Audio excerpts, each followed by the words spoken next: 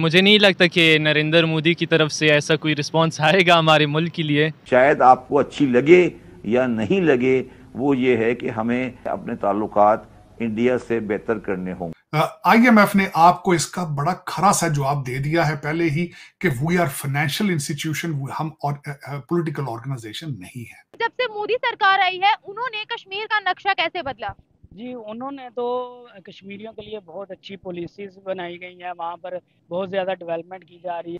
आज की एक पता नहीं अखबार के अंदर एक एक खबर पड़ी है नहीं पड़ी है कि आईएमएफ ने कहा है कि सी पैक पे कोई खर्चा नहीं होगा। इंडिया के साथ अगर तजारत खोली जाए तो ये पूरे खत्े में तरक्की आ सकती ठीक है हमें भारत वगैरह की ज़रूरत नहीं है।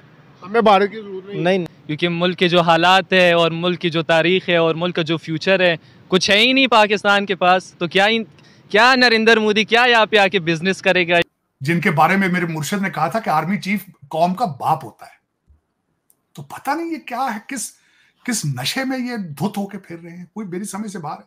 और क्या ये मुस्तकबिल कौन सा पाकिस्तान किस किस्म का पाकिस्तान ये चाहते हैं? हमारे जो माली हालात हैं वो इतने कमज़ोर हैं कि जब हम किसी मुल्क से ताल्लुकात बनाने की भी बात करते हैं तो उन्हें खतरा होता है कि शायद हम उनसे कुछ जो है वो पैसे मांगने जा रहे कि यार तुम सारी दुनिया से नाराज़ हो तालीम से नाराज़ हो। इस्लाम का तुम्हें कुछ पता नहीं है कि इस्लाम किस चीज़ के साथ खाते हैं कुछ पता नहीं वो भी ना सोचे कि इंडिया हमारे साथ बिज़नेस करे और बनता भी नहीं है हम डिजर्व भी नहीं करते हमारे पास कुछ भी नहीं है कि हम उनके साथ करें।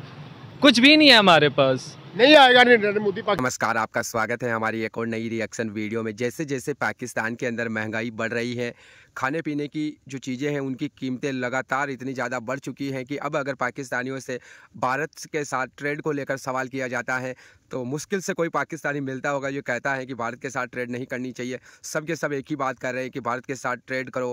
किसी न किसी प्रकार से प्राइम मिनिस्टर मोदी जी को पाकिस्तान में लाओ, रिश्ते को सुधारो, ताकि पाकिस्तान में महँगाई को कंट्रोल किया जा सके। तो इसी के ऊपर ये वीडियो है।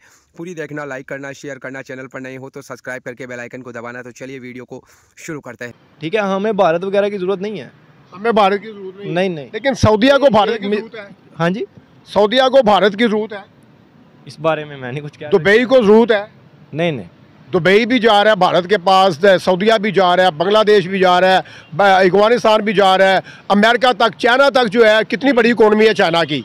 ठीक हो गया टेक्नोलॉजी के लिहाज से नंबर वन अपना वो है इकोनमी है। ठीक है चाइना की। लेकिन चाइना ने भी अपना घुटने टेक दिए भारत के आगे। इसकी क्या रीज़न है? लेकिन सर वो एक और बात है। उसमें ना अपने अपने आ जाते हैं बिज़नेस के जो अपने मफादा देखने होते हैं। देखने होते हैं ना। ट्रेड तो चल देखे ना कि आठ अरब की आबादी है। वर्ल्ड हाँ। की वर्ल्ड की। हाँ, पूरे वर्ल्ड की। तो तकरीबन दो अरब के करीब उधर इंडिया में रह रहे हैं। तो हर किसी ने अपने जो है ना मार्केटिंग के जो फंडामेंटल्स हैं उधर अप्लाई करने हर बंदे ने। ट्रेड के लिए। ठीक है? वो तो एक ना बिज़नेस के लिहाज से बिज़नेस माइंडसेट के हवाले से उधर जाते हैं। बहुत बड़ी बड़ी मंडियाँ हैं उधर। देखें ना चौथा हिस्सा है इंसानों का जो उधर बसता है। तो ज़ाहिर सी बात है हर किसी ने जब कारोबार का सोचना है तो उन्होंने एक दफ़ा इंडिया की इंडिया की तरफ़ देखना है। तो आप इंडिया की तरफ़ क्यों नहीं देख रहे हो? आप कह रहे हो कि हमें ज़रूरत नहीं है इंडिया की। ट्रेड तो कर सकते हैं ना इंडिया के साथ। ज़्यादा ट्रेड ट्रेड का तो है हाँ। लेकिन जहाँ तक बात ये है ना कि हम डिपेंड ही उन पे करें तो वो नहीं हो सकता। डिपेंड नहीं करना देखिए डिपेंड कोई भी नहीं करता। इंडिया ने किसी के ऊपर डिपेंड किया। अपने पाँव पे खुद ही खड़ा हुआ ना। हम्म। अब देखे ना इंडिया जो है उसने जो है हर कंट्री के साथ अपने रिलेशनशिप अच्छे रखे। चाइना के साथ उनका वार चल रहा था लेकिन चाइना से भी जो है वो उनकी ट्रेड जारी है। तो अगर पाकिस्तान के साथ भी ट्रेड जारी हो जाती है तो हमें फ़ायदा होगा ना। जारी सी बात है हम कुछ बेचेंगे कुछ सेल करेंगे कुछ हाँ, खरीदेंगे। हाँ। हमें कुछ चीज़ों कुछ चीज़ों की ज़रूरत है कुछ चीज़ों की उन्हें उन्हें ज़रूरत है। हम भी लेन लेन देन की हद तक तो ठीक है। लेकिन हम सपोर्ट जो है ना वो इंडिया की वो अगर हम कहें ना कि पाकिस्तान होते हुए कि हम इंडिया की सपोर्ट लेके कुछ बन जाएँगे वो बात नहीं है। पॉलिसी होती है जिसके तहत वो मुल्क चलता है। हाँ। अब जिस तरह बाहर मुल्क है या इंडिया की हम बात करें या डिफरेंट कंट्रीज़ की तो वहाँ पे जो पॉलिटिक्स होते हैं उसमें सिर्फ़ पॉलिटिशियन का चलता है। रिस्पॉन्स आएगा हमारे मुल्क के लिए क्योंकि मुल्क के जो हालात है और मुल्क की जो तारीख़ है और मुल्क का जो फ्यूचर है कुछ है ही नहीं पाकिस्तान के पास तो क्या क्या नरेंद्र मोदी क्या यहाँ पे आके बिज़नेस करेगा या कुछ और करेगा? तो ऐसे आप सोचने ही बंद कर दें जैसे हम नहीं सोचते। जितने वाले लोग हैं जितने देखने वाले लोग हैं वो भी ना सोचे कि इंडिया हमारे साथ बिज़नेस करे। और बनता भी नहीं है हम डिज़र्व भी नहीं करते हमारे पास कुछ भी नहीं है कि हम उनके साथ इजाज़त करें। कुछ भी नहीं है हमारे पास। नहीं आएगा नरेंद्र मोदी पाकिस्तान की जानब नहीं नहीं नहीं अल्लाह करे वो ना आए। सर हम तो दुआ करते हैं कि नरेंद्र मोदी आप ना आए। इंडिया इंडिया इंडिया है पाकिस्तान पाकिस्तान है। देखें जी, देखें जी वो इन- नरेंद्र मोदी को अगर जो मुबारकबाद दी है हमारे वज़ीर आलम को शबाज शरीफ साहब को कहने का मकसद ये है उन्होंने हमारे से ज़्यादा मुल्क आगे जा रहा है तरक्की कर रहा है इंडिया। आपको कैसे पता है? सर देखें ना उनकी करेंसी बढ़ रही है उनकी हर चीज़ सस्ती है। यहाँ देखें ना एक चीज़ लें बीस रुपए की ठीक है वहाँ पे एक रुपए की मिल रही है।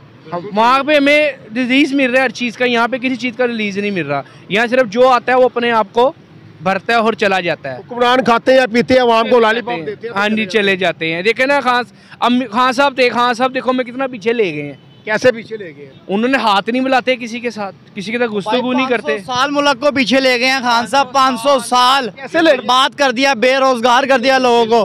कारोबार बर्बाद कर दिया खान साहब ने। ये जो करक कर दिया काम शान शान भाई ये जो ट्रेड बंद की थी भारत के साथ इमरान खान साहब ने इमरान खान साहब का अच्छा फैसला था या गलत फैसला था बहुत गलत फैसला था इमरान खान साहब का काम ही बहुत गलत फैसला है ਸੀ ਉਹਨੇ बर्बाद करता साढ़े मुल्क ਨੂੰ बर्बाद करता है मुल्क को बहुत पीछे ले गया वो कहने का मकसद है कि वो अपनी अना पे रहता है उन्हें लेगेसी का शौक है उन्हें अपनी कौम को आगे लेके जाने का शौक है उन्हें दुनिया ने जिस तरीके से भारत को जलीलो ख्वार इस रीजन को किया फॉरेन इन्वेडर्स को उनको बदला लेने का शौक है हम हम हम, हम अभी तक कलोनियल माइंडसेट से बाहर नहीं इस- निकल पा रहे हम हमें आज भी लंदर से ऑपरेट किया जा रहा है यही सबसे बड़ा डिफरेंस जब हम ये चीज़ें लेगेसी का शौक होगा हम कपड़ों के शौक से निकलेंगे गाड़ियों के शौक से निकलेंगे तो फिर दुनिया देखेंगे वो दुनिया देख चुके हैं देख रहे हैं वो। यही सबसे बड़ा डिफरेंस है मेरे ख्याल में। और मेरी दुआ है कि शायद हमें भी खुदा ताला जो है वो इस चीज़ से एक, अ, आशना कराए। तालीम बहुत है हमारे पास पैसा भी बहुत है। पैसा भी बेसमेंटों में पड़ा है। हमारे पास सिर्फ़ ये नहीं है तो प्राइड नहीं है लेगेसी का शौक नहीं है। ये ये कमी है हमारे अंदर मेरे ख्याल में। और मतलब हमारे यहाँ कभी कोई डॉक्टर जयशंकर हम हमें हासिल नहीं होंगे। हमें हमारे एजुकेशन के लिहाज से तो बहुत ज़्यादा लोग हैं जहाँ इस्लामाबाद में आप बैठी हैं पीएचडी हैं सारी हार्वर्ड की आपके पास बहुत ज़्यादा पीएचडी हैं ऑक्सफोर्ड की कैम्ब्रिज की लेकिन आपके अंदर विल मौजूद नहीं है। आपके अंदर शौक एपेटाइट नहीं है आपके अंदर कि हम अपनी कौम के लिए कुछ करें। आपको अभी तक शौक है गाड़ियों का आप श्रीना जाए ना मैरियट बीस बीस करोड़ की गाड़ियाँ सौ सौ खड़ी हैं वहाँ पर कमरा नहीं मिलता आपके, और इतने महँगे कमरे हमको नहीं मिलते, लेकिन आपके शौक कुछ और है। आपने तरक्की बहुत की है, लेकिन पाकिस्तान से बाहर दुबई और लंदन में तरक्की की। इंडिया ने तरक्की इंडिया के अंदर की है। भारत ने, भारत के अंदर तरक्की कर रहे हैं वो। आप तरक्की तरक्की कर रहे हैं, लेकिन पाकिस्तान से बाहर कर रहे हैं। यही आपका और उनका बड़ा डिफरेंस है, और मैं चाहूँगा कि फ्यूचर के अंदर मैं जिस तरह हमेशा कहता हूँ कि हमें भी कोई चाय वाला मिले, हमें भी कोई डॉक्टर जयशंकर मिले जो पाक, पाकिस्तान आ मैं आ, देखें मेरे बच्चे लौंडे लपाड़े मेरे पीछे पड़ जाते हैं बार बार पढ़ते हैं। मैं उनसे कहूँगा कि गूगल करके देखो यार कि तुम्हारी एस्टेब्लिशमेंट तुम्हारे लीडरान कहाँ रहते हैं उनके बच्चे कहाँ पढ़ते हैं और भारत के जो लीड पिछले देख लो चार वज़ीर आज़म उनके कहाँ बैठे हैं। उनके पिछले चार जर्नैल देख लो उनके चार पिछले जजेस देख लो चीफ जस्टिस देख लो और उनके हाई कोर्टों के जजेस कहाँ बैठे सारे भारत के अंदर बैठे तो दोस्तों आई होप कि आपको ये वीडियो ज़रूर पसंद आई होगी और जैसा कि आपने इस वीडियो के अंदर भी देखा है और और भी आपने कई सारी ऐसी वीडियो देखी होगी जहाँ पर पाकिस्तान की मीडिया के अंदर भारत के साथ ट्रेड को लेकर और भारत के साथ रिश्तों को लेकर अक्सर बातें की जा रही हैं कि किसी न किसी तरीके से जो है ना पाकिस्तान को रिश्ते सुधारने होंगे। भारत के साथ जो ट्रेड बंद हुई है उसको रीओपन करना पड़ेगा। लेकिन यहाँ पर अगर हम भारत सरकार की बात करें तो भारत सरकार ने भी अपनी तरफ़ से क्लियर कह रखा है पाकिस्तान को कि भैया, जब तक आतंकवाद पर कंट्रोल नहीं करोगे, तब तक जो है ना, किसी भी प्रकार की आपके साथ कोई बातचीत नहीं होने वाली है। और दूसरी बात ट्रेड जो बंद की थी वो पाकिस्तान ने की थी। भारत की तरफ़ से ऐसा कोई भी डिसीज़न नहीं लिया गया था।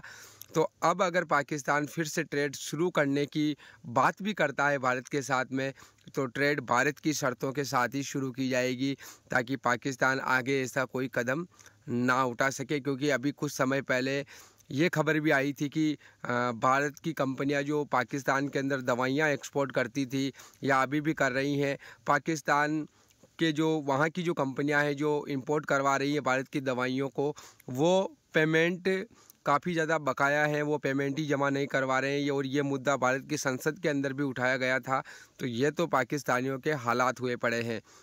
बाकी आपने पूरी वीडियो देखी है, अगर आपको कुछ कहना है तो कमेंट करके ज़रूर बताना। हम मिलेंगे अगली नई वीडियो में, तब तक के लिए आप सभी का बहुत बहुत धन्यवाद।